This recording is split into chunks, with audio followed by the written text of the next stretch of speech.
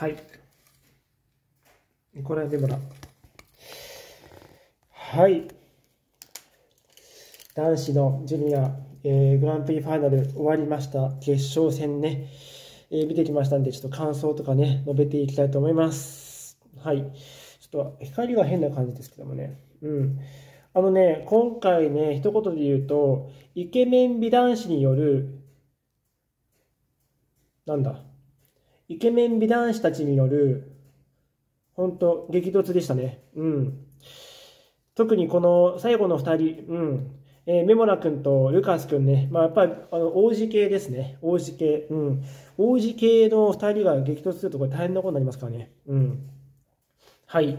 まあ、そういうあの体型差ったかなと思いますよ、やっぱ。うん。本当に王子系。まあ、片瀬君も王子系なんですが、まあ、残念ながら片瀬君はね、ちょっと今回は、えメダル争いや食い込んでくることがなかったんですけど、この2人の争いね、うん、ジュリアのこの男子2人、メモラとルーカス君の戦いね、うん、面白かったですね。うん。まあ、そこら辺も含めて。ただ、日本選手もね、えー、頑張ったりとかね、逆転もありましたんで、お話ししていきたいと思います。はい。えー、まずはね、片瀬健選手からお話ししていきます。うん。いやもう片瀬君は本当に王子様系スケーターで、えっと、まあ、グランプリシリーズもね、えー、ジュニアグランプリ注目して、まあ、昨シーズンから注目していって、まあ、このグランプリファーナルね、えー、楽しみ、まあ、だったんですよね。で、まあ、最近、まあ、日本の大会とかでも、まあ、ちょっとずつ復調はしてきて、よくはなってきてるかなと思ったんですけど、まあ、このグランプリファイナルは、まあ、ショートで大きなミスして、一番最初の完走になってしまって、で、このフリーね、あの、迎えたわけなんですが、まあ、そのフリーで、まあ、そのショートの時にね、まあ、トリプルアクセルとトリプルルッツで激しく転倒してしまったということで、まあ、この2つのジャンプを中心にね、かなり、えー、まあ、あの気にして見ていたんですけど、今日はですね、この2つのジャンプはなんとうまくいったんですよ。うん。しかもトリプルアクセルの2つ目はトリプルときれいにつけて、加点も大きく伸びるようなものすごい綺麗な流れのあるジャンプを持ってきて、わ、これはやったって思った矢先にですね、まさかのトリプルフリップがシングルフリップ、うん、えー、叫びましたね。はい。いや、あのー、そこかいっていうね、うん、そ、そこかよってなっちゃいましたね。うん。で、その後のトリプルループも1回転半まで回った後に、前向きで降りてきてしまって、まあ、抜けてしまったっていう感じですね。まあ、これもマジかってなって、ちょっと、うわーってなっちゃいましたね。うん。で、その後のトリプルルッツ、これはショートでミスあったんですが、これは、まあ、なんとか決まったと思います。ちょっと大回りはなったけど、うん。まあ、最初はね、トリプルアクセルも、まあ、ちょっと大回りになったんで、危なかったは危なかったんですけど、ただ、2つともね、トリプルアクセルはコンビネーションも決めて、なんとか、えー、入っていたんで、まあ、ショートの時よりは、この2つのジャンプは良かったんですけど、ただ、まさかフリップとかループでシングルになるなんていうミスはちょっとびっくりしましたね。うん。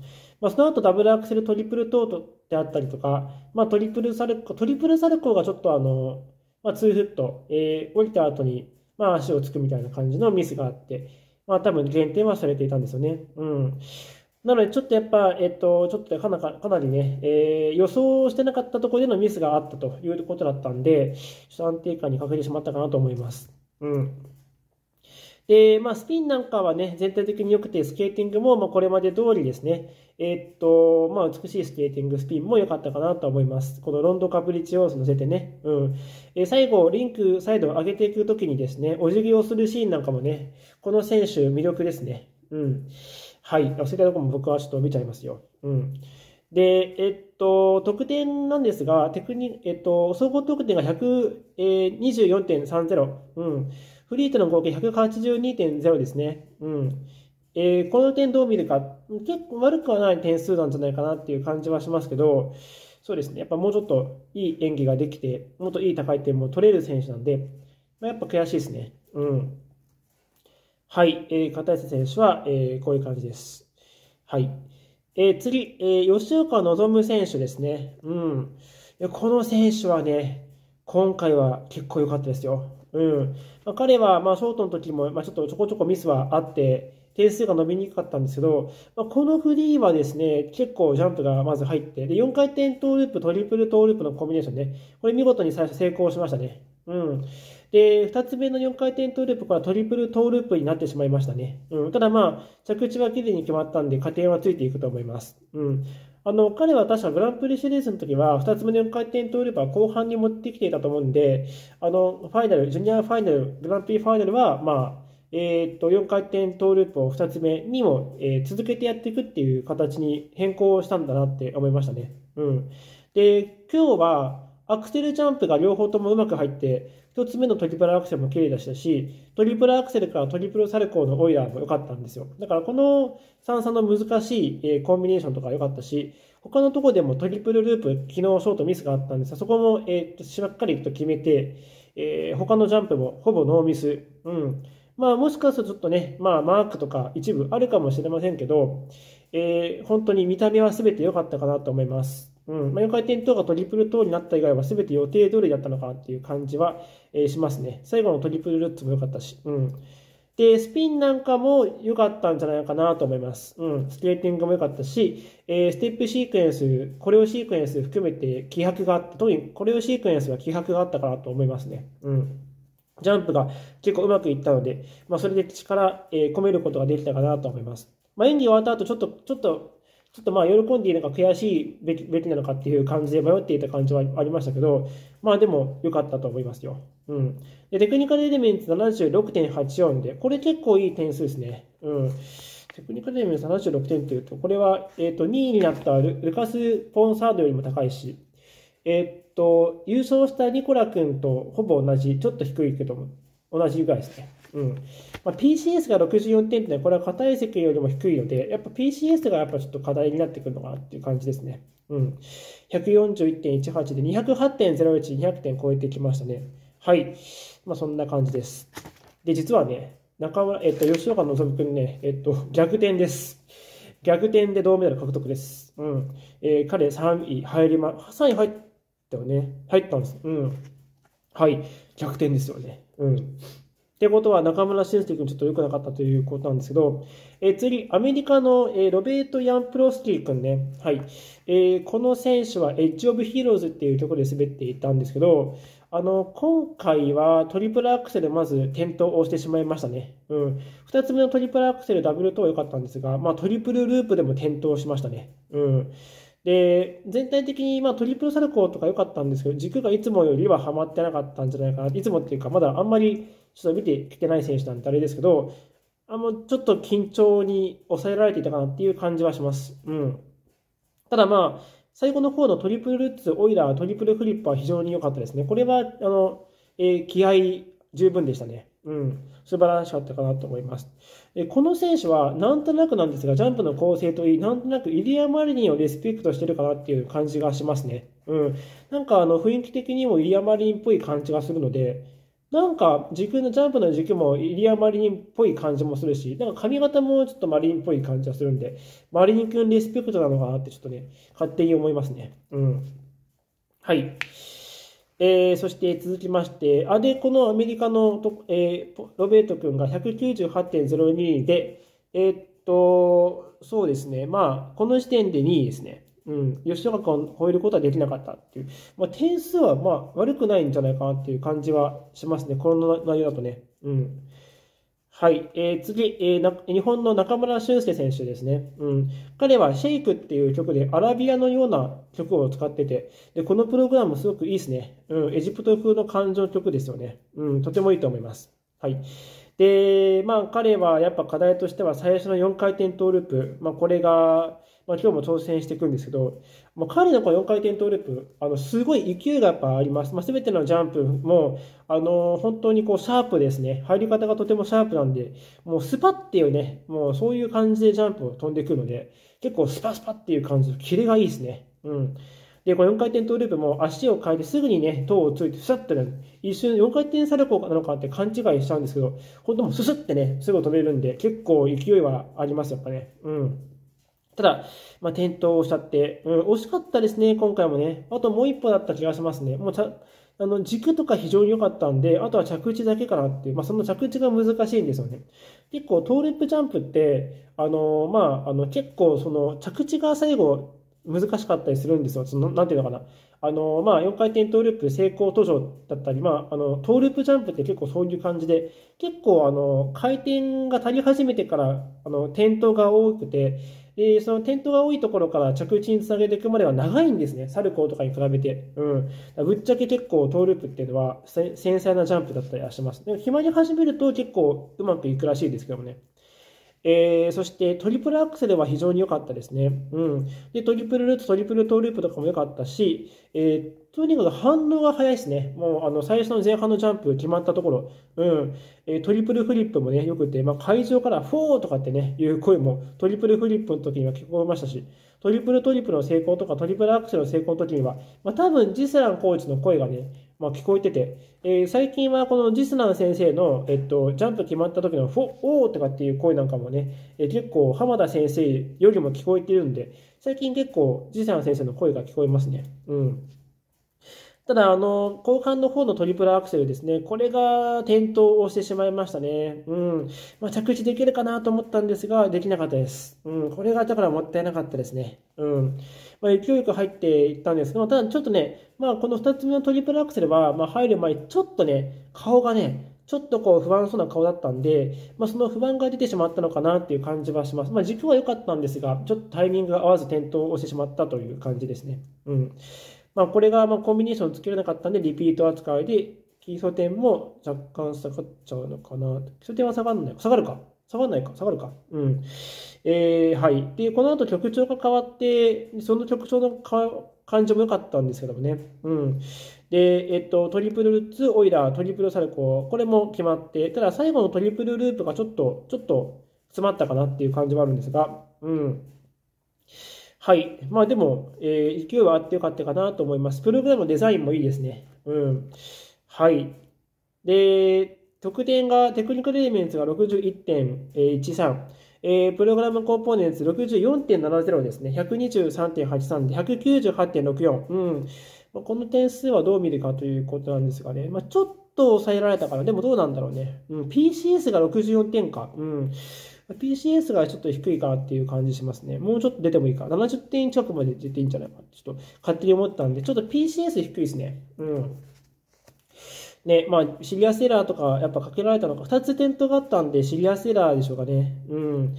はい。で、中村修介君がちょっと順位を落としてしまって、えっ、ー、と、この時点でですね、えっ、ー、と、2位、にはなるんですけどね、まあ、ギリギリ2位ですね。まあ、あの、得点で出た後は、まあ、納得して、まあ、次また頑張ろうっていう感じになってたんで、気持ち的にはどうなんでしょうかね。うん。はい、えー、そういう感じです。うん。はい。えー、次。えー、まあ、この時点で、えー、吉岡望君がトップなんで、吉岡君逆転でメダルですね。はい。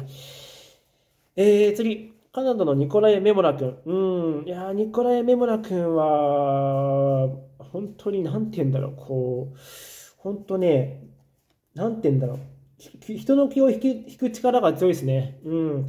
あの、ニコライ・ガールズもすごく応援してて、これさ、あの、昨日コメントいただいて、なんかニコライ・ガールズってね、このニコライ・メモラ君を取り巻く、まあその、取り巻きファン、うん、いるんですよね。で、その、えニコライ・ガールズの黄色い歓声がね、もうキャーとかウォーとかね、聞こえてきてですね、あの、本当ね、あの、圧倒されますよ。うん。まあ、こんな感じで、ニコライ・メモラ、あとね、男子のこの、えー、っと、ルーカス・ブロッサードもイケメンなんで、結構ね、このイケメン対決気になってましたからね。うん。そうそうそう。ね。で、まあ、あの、彼はもうこのサムソンとデリラっていう曲を使ってますけど、このサムソンとデリラは過去にね、たくさん使っている選手いるんですよね。うん。えー、特にカナディアンチームは多くて、えー、ジョアニー・ロセットも使ってましたし、日本は安藤美希ちゃんもね、ショートで使ってたりとか、ね、アシュリー・ワガナーもね、使ってましたので。本当にいろんな選手使ってね。うん。えー、本当もう数えきれないくらいの選手が使えてると思う。あと誰だっけな？他に、ね、うん。で、その中で、たくさん使っている中でですね、彼が選曲したにあの、編曲、あの、バージョンっていうのが、2005、6年のジェフリー・バトルのフリースケーティングとほぼ同じようなバージョンなんですよ。最初の方がね、最初の方が。うん。こう、劇場が、えー、始まるんじゃないかっていう感じの、えー、ショー的な感じで始まっていきます。うん。で、このね、なんとも言えない感じ。まあ、ジェフリー・ワタルはね、こうして、こういうふうにですね、こうやって、ってやるとこあるんですよね。そのシーンがあるんですけど、まあ、このジェフリー・バトル、僕大好きで、うん。このサムソンとデリラがね。で、その同じ似てるバージョンのニコライ・メロ君はこのサムソンとデリラを使っていたんで、あ、なんか、ジェフリー・バトルのこと好きなのかなってね。で、ジェフリー・バトルも王子様系でめっちゃ好きなんで、王子フィギュアス系とかちょっと盛り上が盛り上がっていってほしいですね。とかって勝手に思ってますね。うん。まあ、あの、最近は、この片江瀬君といい、またあの、えー、えっとね、あの、ちょっと、ちょっとだけニコライ・メオラ君の感じに似てるんですね。えー、三宅志奈っていう選手いるんですよね。三宅志奈君ね、ちょっと似てますね。うん。身長も高いし、王子様フィギュアスケート界をちょっと盛り上げろっていうね、ことなんですけど、うん。このニコライ・メオラ君はそういう感じで。で、まあ、あの、素敵なサムデリをね、サムソンデリラを演じていてですね、うん。まあ話長くなりましたけどね。はい。あのまあ彼は、まあ今回4回転サルコーの予定があったと思うんですけど、まああのそこは4回転サルコーにはしなくてダブルアクセルにしましたね。うん、無難にまとめてきたと思います。まあ、彼は一応予定では4回転入ってるんですが、まあ、グランプリジュニアン、グランプリの時は、まあ、どっちもまあトリプル、ダブルアクセルにしてるんで、まあ、あんまりこ入れていかないからっていう安定策を取ってますね。うん。ぶっちゃけ正解ですね。はい。ま、この順位見ても、やっぱりそんな無理して4回転をつけなくてもいいかなっていう感じはします。まあ、これからそのシニアに上がってから4回転必要になってくるんで、まあ、練習は必要かと思いますが、まずはジュニアグランプリファイナルを獲得するとね、うん。っていうことが大事なんで、やっぱこの後ニコラ、あの、ブロスタード君も出てくるし、まあ、彼もこのブロスタードも結構な安定感を持っていい点出るんですよ。うん。だからまあ、それのこ考えると、まあ、無理に4回転サルコーをつけて転倒なんかして、疲れが出てしまって、後半のトリプルアクセルにまで影響が出るなんていうことがあると、と大変なことになっちゃいますから、まあ、ここでダブルアクセルにして余裕を見せておくっていう大事さは、大事かなと思いますね。うん。で、まあ、その後トリプルアクセルからトリプルサルコーのとこもすごくよく、素晴らしくて、まあ、ニコライ・ガールズがね、もううわーとか言って、黄色い歓声に満ち溢れてました。はい。で、その後トリプルフリップも良かったし、トリプルループも良かったですね。うん。で、まあ、スピンで、まあ、一応評価ではレビュー3になってますけど、まあ、これはプロトコル表を見ていかないと分かんないところはあります。うん。ジェフリー・バトルの感じがね、あの曲調。でもまあ、ジェフリー・バトルの時は、あの時はまだね、2006年で、ボーカル入りの曲は気にしちゃったんで、まあ、ボーカルなしのバージョンでしたけども、まあ、その、えっと、ジェフリー・バトルが使っていたバージョンの、えー、セムソンとデリラ、まあ、前半の方ですね、中盤と前半の方ね、の、まあ、ボーカルバージョンを、ちょっと中盤の方で使ってましたからね。うん。ジェフリー・バトルのフリーも僕はね、もう何千回、何万回見たか忘れ忘れましたね。もう本当見すぎて、本当に見すぎて、毎日がジェフリーバトルになるんじゃないかっていうぐらい見すぎたんですよね。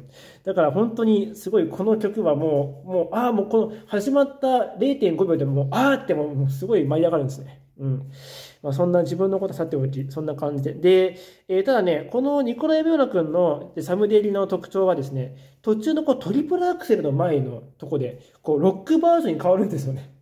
ロックバージョンっていうか、なんかドドーンとかって始まって、え、それだ、サムデリでそれなっちゃうの？っていうね。うん。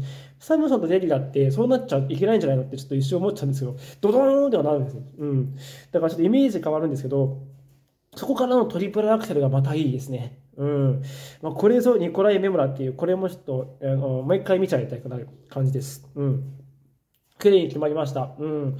で、まあ、かなり勢いに乗って、まあ、この、あ、このトリプルアクセル足は決まったのか。で、表情がもううわーってなっててね。うん。ただまあ、その後のトリプルループ、トリプルトーループ、この辺りから曲調がね、変わって、えー、安藤美希さんとか、えー、アシュリー・ワグナーとか、えー、なんだっけね、あの、そういう、そのバージョンの、えー、あの、なんだっけ、サムデイリーに変わるんですよね。うん。サムソンとデリカっていうと、まあ、結構こっちのバージョンを使ってる人多いんですけど、僕はもう元祖サムデリカはもうこのジェフリーバトルバージョンですからね。何度も言いますけど、何度も言いますけど。うん。でも最後の方は、あの、ジェフリーバトルの感じじゃなくて、えー、まあ、あの、あっちのバージョンですよね。だから、まあ、安藤さんとかが演じてるバージョンの、えー、サムデリに曲が変わっていくんですけど、まあ、そこでトリプルルーツ、トリプルトーループやったんですが、あ、トリプルトーがオーバーターンしちゃったんですね。うん。でも、その時も顔がもう、うわーってなっててね、もう本当そうですよ。もう、気迫がそう、うん、うわーってなって、もう無理やりやってましたね。うん。で、その後、コレオシーっていう時の表情が本当やばかったです。お客さんに、うわーってこうやってやったりとかね。うん。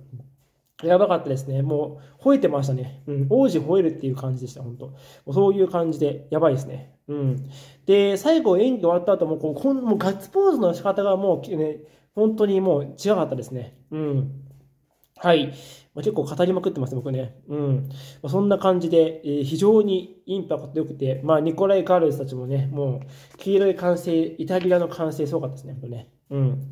で、えー、得点が150.66、テクニカルエレメンツ77.26で、プログラムコンポーネンツ73.40で、もう圧巻でしたね。うん、4回転はないんですが、77まあ、だから本当すごいですよね。ポテンシャルは大きいかなっていう感じします。うん。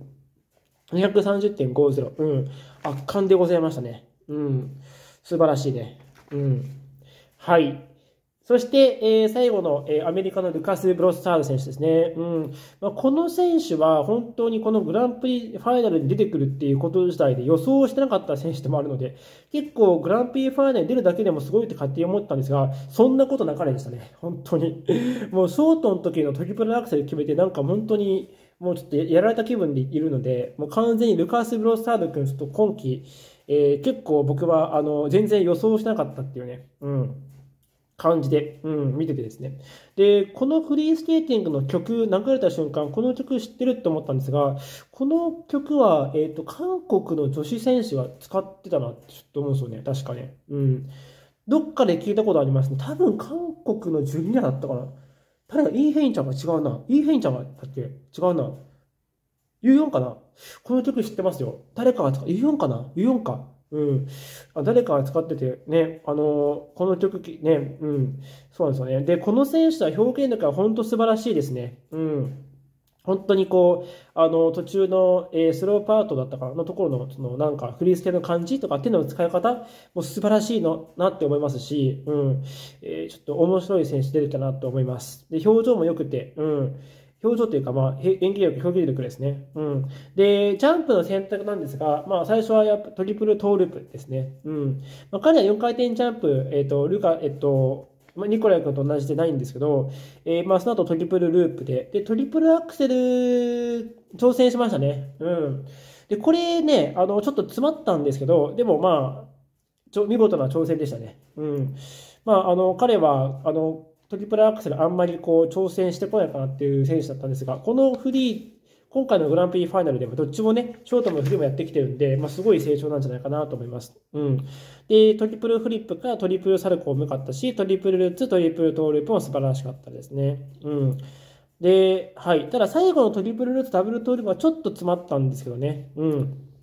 でも、スピンなんかもね、えー、っと、柔軟性を生かしたスピンね、うん、とかね、結構やってたりもして、えー、本当表現力もね、演技力素晴らしいなと思います。で、プログラムコンポーネンツが76.22なんで、これはもう圧巻ですよね。うん、すごい本当に美しいスケーターだと思いますよ、この選手ね。うん。